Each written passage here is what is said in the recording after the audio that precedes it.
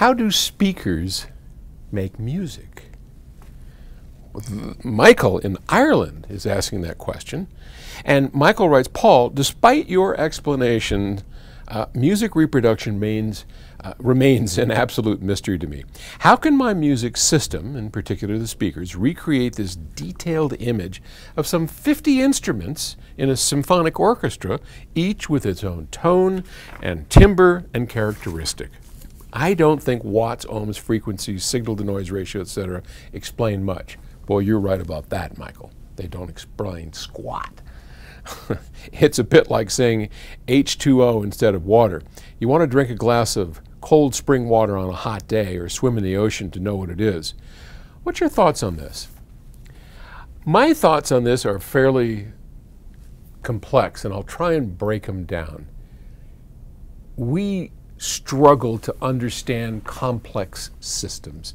It really is beyond our imagination.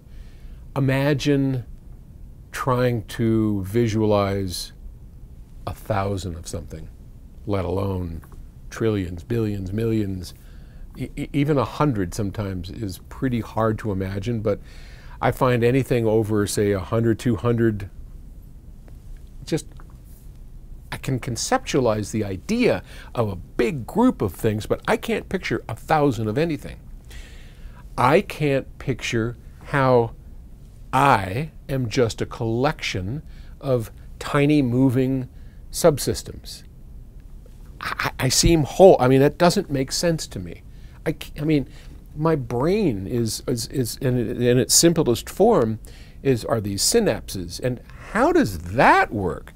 And I think we get trapped in you know this this whole idea of of um, well, we don't understand it, so it's either magic or there's some uh, supreme, you know, being or something that must control it. because we can't picture, we can't understand complex systems. We just can't.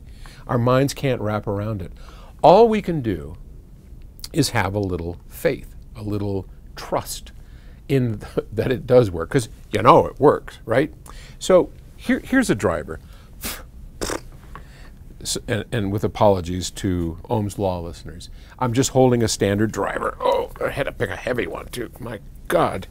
Um, and what what do we know?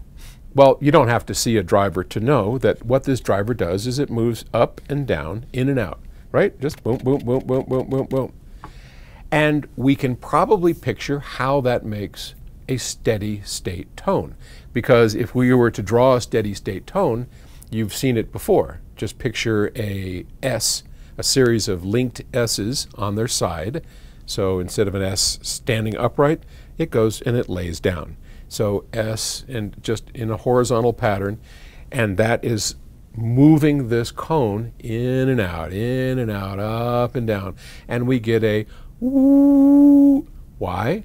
Because it's compressing the air in an exact analog of that steady state tone it's moving my eardrum in concert, not to make a pun, with the pressure moving in and out, and my brain registers that as something that is a steady state tone. Now, if I want to add some dynamics to it, some, some add something, I could have the tone start and stop. So, oh, ooh, ooh, ooh, ooh, ooh. Okay, that's the same tone, best I can do, stopping and starting. Ooh, ooh, ooh. Now if I go ooh, ooh, ooh, that's the tone changing frequency, right? So we can we can kind of grasp all of that. That's we kind of get that, but already, I'll bet you can't picture in your mind what's really happening, which is those S's are getting bunched closer together and then farther away. It's like, whoop, that change in frequency, which is easy for me to do and easy for you to hear, is really compressing those ups and downs, those, those sideways S's, into smaller and smaller areas, which vibrate the speaker cone faster and my ear faster. Now, if we were to add to that a second person over here, which I can't, I can't do, then you would hear two tones, right? You'd hear me and you'd hear Bob. Well, it's this what what the ear hears and what the speaker reproduces is an amalgam of those two sounds. Because at the end of the day, you have one carrier, air. Sound doesn't work in a vacuum, we know that. We have air moving, and with me on a steady state tone, it's kind of easy to see the air moving back and forth, back and forth. Now we add a second thing that's going faster. I can't, that's like rubbing your head and patting your stomach, right? Um, now the air is going to come out in a very different pattern. Still one carrier, still just the air, moving back and forth slowly and quickly. And when we look at an orchestra with 50 players, now what we see is this very complex grouping moving one carrier, the air, to our ear. And in the same way, this speaker just moves in a complete analog of that, comb- that combined sound of that single bit of air moving in and out quickly and, and slowly. And that's the simple explanation behind it. Can you visualize it?